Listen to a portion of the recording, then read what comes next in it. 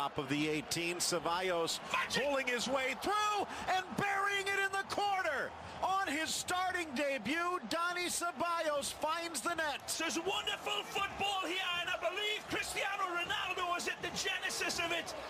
Beautiful tic-tac-toe football from Real Madrid, and it's considerate passing that just picks apart Ibai Gomez's team.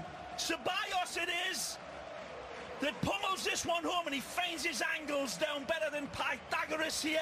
Again, the ball played in, pulled back, lovely block tackle, but he raids the tackle, and that is phenomenal finishing in a blink of a bee's eye right here.